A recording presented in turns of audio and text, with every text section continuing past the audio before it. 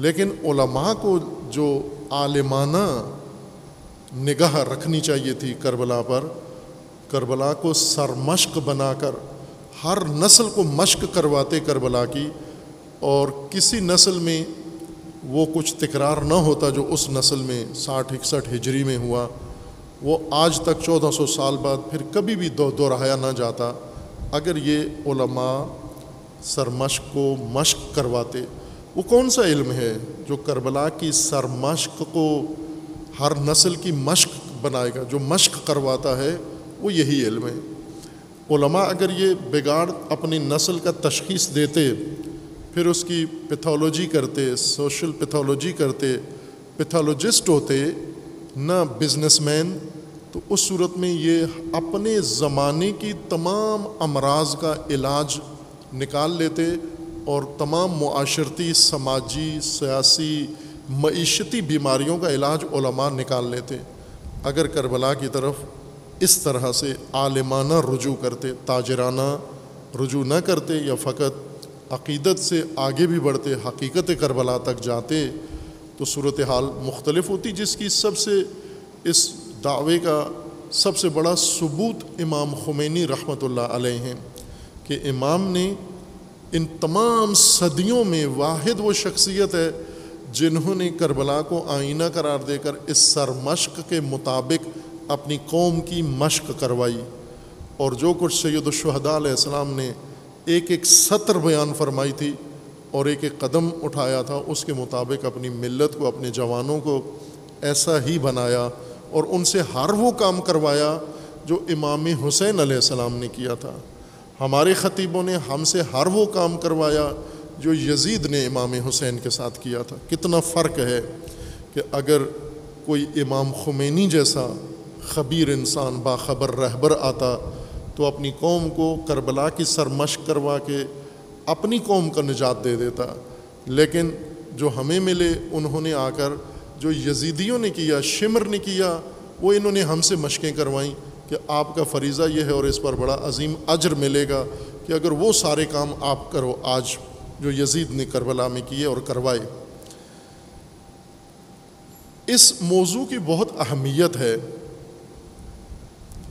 मिजाज हर चंद आपके, मेरे इल्म में है आपके मिजाजों के ख़िलाफ़ हो रही है मजलिस, लेकिन अगर हम मिजाजों के मुताबिक रहेंगे तो मिजाज, मिजाजों में ये तजाद मौजूद है। आज की नस्ल उस साठ हिजरी के कोफियों से ज़्यादा तजादात का शिकार है। और पाकिस्तान दुनिया में अगर सर्वे करवाएँ और तहकीक करवाएँ तो तजादात में पाकिस्तान पहले नंबर पर होगा। बहुत सारे शोबों में आखिरी नंबर इसका आता है, लेकिन तजाद, मुतजाद मुआशरा, तजादात का शिकार मुआशरा अगर देखना हो तो हम पहले नंबर पर आ सकते हैं, अगर कोई महकाना काम करे यहाँ पर। और गुना गुन तजाद हैं। इन तजादात को तवज्जो करना सबसे पहला मतलब जिसमें आप अजीज़ान खसूस जवानान, हमारे अजीज़ान खा वो दीनी तो लाभ हों वो जवान या वो दानशगाही जवान हों, कॉलेज यूनिवर्सिटी के जवान हों, इन दोनों को ये मौजू इसी तरह तालब इलमाना हैसियत से सुनने और पैगिरी करने की ज़रूरत है। वक्त दें इसको।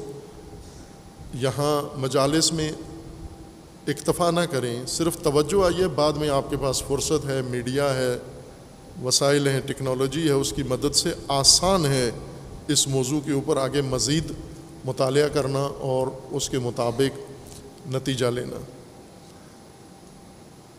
तजादात का शिकार मुआशरा।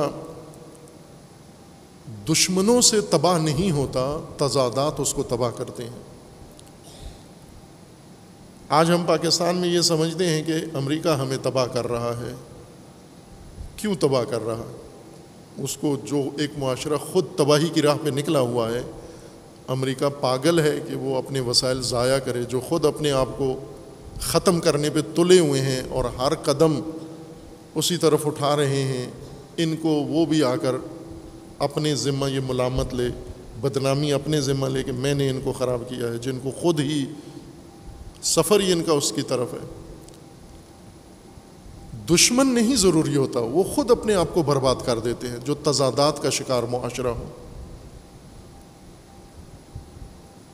वो तजादात चंद तरह के हैं, मैं जितनी जहाँ गुंजाइश होगी, मैं मजालस में अर्ज़ करूँगा, लेकिन मौजू यकीनन ख़त्म नहीं होगा। ये वो मौजू है कि अगर असल दरसी मौजू है, तदरीस का मौजू है, और अगर अल्लाह ने तोफ़ी दी अशरा के बाद, मजालस के बाद भी अगर तोफ़ी हुई तो मुमकिन है ये मौजू पैथोलॉजी, सोशल पैथोलॉजी करबला के आईने में इमाम हुसैन सलाम के इस क़याम के आईने में पाकिस्तान की तशखीस। हम नारे तो लगाते हैं ना कि पाकिस्तान की बका आज़ादारी में है हुसैनीत में है।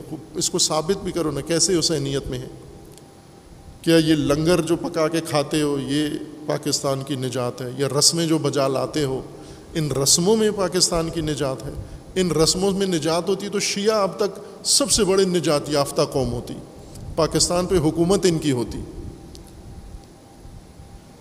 लेकिन ये हकीकत है, इमाम खुमैनी फरमाते हैं कि माँ हर चेदारी में सैदुशहदादारी यानी ये इनकलाब, ये हुकूमत, ये इकतदार, ये विलायत का निज़ाम, ये दुनिया के सामने मुकाबले की ताकत और जुर्रत, ये सब हुसैन इबन अली का दिया हुआ है, अतिया है। और इसमें कोई मुबालगा नहीं है, ज़रा बराबर इस बात में मुबालगा नहीं है। ये सब कुछ हुसैन इबन अली से लिया है। जब एक मुल्क और एक रहबर ले सकते हैं करबला से इतना बड़ा हदिया तो दूसरा मुल्क और दूसरी कौम क्यों नहीं ले सकती? जो खसूसियात में उस कौम से ज़्यादा बढ़कर है। पाकिस्तानी कौम खसूसियात में ईरानी कौम से बहुत आगे है, जिसका एतराफ़ इमाम खुमैनी ने किया है।